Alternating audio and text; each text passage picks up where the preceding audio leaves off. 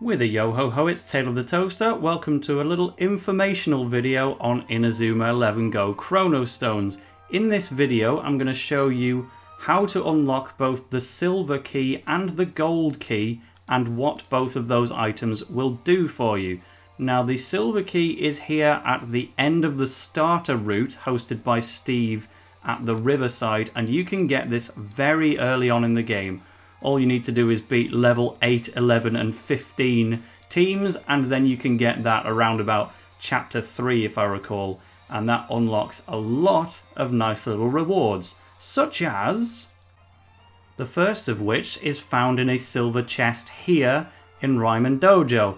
Unfortunately, when I was doing the original recording for this video, I opened all the chests, saved the game and realised that I wasn't recording, so the chests are no longer here in the footage that you see, but right here there would be the special tactic Twin Wings, which you can get at the very start of the game, and it's genuinely quite helpful because it's not the best in terms of getting the ball up the field, but it's also fairly low cost. So if you're running out of TTP, then you can go for a Twin Wings instead. Recommended. Next you want to take a trip to Raimon School 11 years ago in the past and within the club room this is the spot where you would find a move manual for God Hand. You can't think of anything more fitting than that. Now this one is a little hard to miss. It would be just in this section over here in the White Deer hideout. So as long as you got the silver key during your main playthrough, then hopefully you may have grabbed this one already. But it is an unsettled compass that you get as the reward, which is a pal packing item for some characters. Now the other one that I would say is kind of hidden in plain view would be right about here in Shinon Castle, but I'm glad it wasn't hidden because this chest is extremely important. It contains the Showdown Ticket 1, which unlocks a post-game competition route uh, path, which you'd find in the Bakumatsu era. But the main importance of that is that the reward for beating uh, Showdown Route 1 is the gold key. So we will be covering that in the second half of this video. But you cannot get the gold key without first going here with the silver key. Also here in France, if we go to the Orleans Bridge and head to this corner of the map, there is a silver chest containing the Faded Map, which is a Palpak item used to recruit King Arthur and other members of the Camelot era. Now in the Bakumatsu era, if you are in the north of the city riverbank, Behind this tree you would find a silver chest which again contains a pal packing item, this time the indecisive radar. Now you might want to check where I am on the bottom screen, but we're on the far left of the museum on an optional path in the future, Centrado. If you exit that way, you end up on the other side of this barricade, and there would be not one, but three chests here, there's two regular blue ones containing a healing item and a regular bracelet, but in the middle of them is the exclusive item in the silver chest, the Cosmos bracelet. The final item that you get from the silver chest is here in Camelot, but I'm actually going to throw in a little bonus here and show what happens if you can get things like the Faded Map. I've got the King's Armlet, the Moonlight Lantern and the Faded Map thanks to the Silver Key, so I can actually recruit King Arthur thanks to that silver chest. Now this is actually something I really don't recommend because if you recruit members of the Ultimate 11, the Aura Source, so like Ryoma Sakamoto and Nobunaga Oda, all of them, you actually lose the ability to Miximax with them if you have them as playable characters. But fortunately I'm playing on my backup save file of Wildfire, which I was supposed to be using to you know, get all the uh, silver chests without opening them, but well, that didn't turn out great. But nevertheless, the silver chest in this room would be around about here, and it contains a crystal pendulum, the final pal packing item. That's it for the silver chests, so let's take a look at the gold ones. Next, I'm going to show you where to get all of the golden chests, and this is a lot harder to unlock because you have to get it in the post game and you have to S rank a reasonably difficult competition route, including the final boss Ragnar alongside other really powerful teams along the way. But the small golden key will be your reward, which of course unlocks even more stuff along the way. The first item we're going to collect is in the west building on the ground floor of Raimon School, which contains the lost ticket to unlock more matches in competition routes. Craftily hidden behind this tree on the pitch main area is Catch Boost Ultra, a fantastic move manual for goalkeepers. And at Old Raimon School 11 years ago, go to the library and you can get more competition route matches with the Ultimate ticket. It's more competition routes ahoy as we go to the first floor of the hospital in Vladimir Blade's room and we can get the hidden ticket 1. If you go into the attic of Riccardo Di Rigo's house, the golden chest is here containing Ephemeral Boost, which of course is Riccardo's shooting move when Miximax with Nobunaga. Take a trip to the rolling market of Okinawa and this one is really craftily hidden but behind this market stall you get the showdown ticket 2. A bit cheeky to hide an entire competition route path behind a stall but um, that's what they decided to do.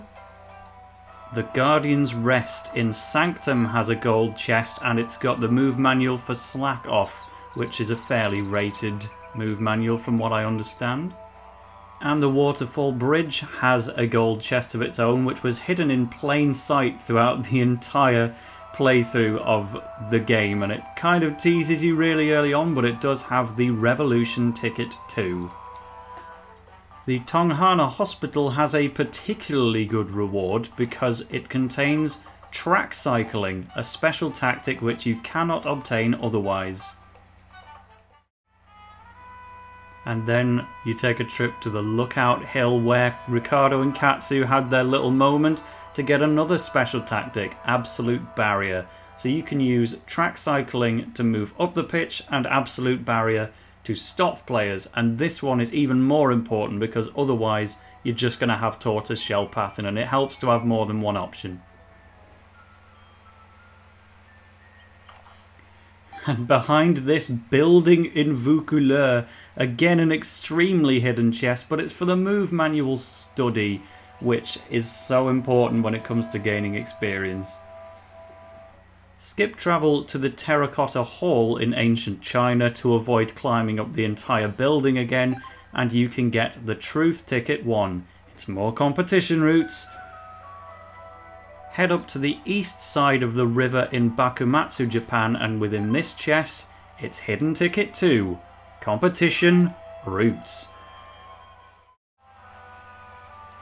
Now look at the bottom screen for this one, but down in this big winding pit in the Great Plain, you can get the Spirit Manual for Arges. Let's take a closer look at that actually, because it always helps to know. So this is a goalkeeping one. If, for example, you don't want to use JP and would rather use someone like Sam, then Arges is a very good option for you. And another one that was hidden in plain sight right at the top of this cliff on the same screen, you can get the Revolution Ticket 1 for some competition battling routes.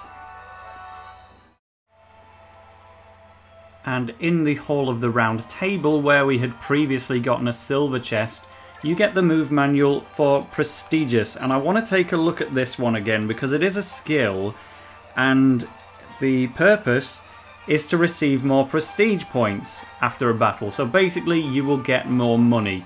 Slack off, meanwhile, was to share experience points among the team, and study was to boost experience points. So all of them extremely useful.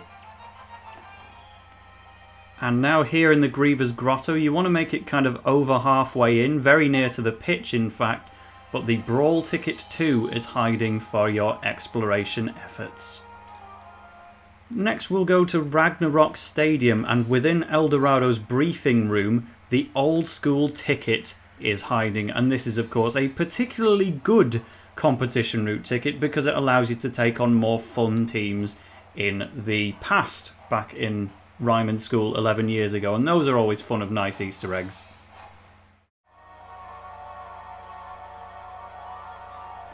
Two chests are hiding in the post-game area, but at the top of the Lost World Stadium, you can get the Truth Ticket 2, along with some dramatic music. And now the placement of the other golden chest in the Stitched Meadow of all places is devilishly hidden. If you look at me running around this area, you just wouldn't think this is possible. You cannot walk on this bit of the green grass until yeah this one this one random bit you can cross. And under this waterfall is Zodiac which is Zanark's fighting spirit and that is a huge reward for perhaps the most hidden golden chest in the game. Even the only visual cue is that you would kind of go along here and see it if you twist the camera. But I do recommend you skip travel to the Chaos Causeway and head south from there. Now for the next gold chest, there's a little more to do. You need to be in Inazuma Tower, but specifically in the past from 11 years ago. You cannot get through this door if you're in the present day, and you also can't get through it if you haven't connected to the Wi-Fi. But simply go into the Connect settings, hit the big download button in the Connect menu, and you will get the small attic key as an item in Raimon's shop buy this for a thousand prestige points and you can head inside this building where there are some regular chests first off including fine veggies and the move manual for Inazuma Break and finally the power boots. There's also a gold chest containing a spirit manual for Arch Pegasus Red. This is exactly the same as the normal Arch Pegasus but the only difference is that it is red. That's literally it. And even the type, moves, stats, everything is the same. But it's a fun little Easter egg. And there's also a level 99 competition route in here, just because. And the other one linked to passwords is something I've already shown in a previous video but if you go to the Raimon shop and buy the mysterious key after putting in a certain Wi-Fi password which will be in the video description and on screen right now, you can get that mysterious key and head into this exclusive area in the back of the old club room with three gold chests. The global boots, the global gloves, and the global kit. And all of these items allow you to apply a kit which is based on the kit, the, the Earth 11 wear in Inazuma 11 Go Galaxy. So they put this in the game before even Go Galaxy had released. Just goes to show how much was already being planned. But yep, that's in there, including the gloves and the boots too. And so that's where to get all of the silver and gold chests in Inazuma 11 Go Chrono Stones. That unlocks a lot of competition routes, so have fun with those. Any questions, just leave a comment and I'll be sure to try and help you out. And see you in another video.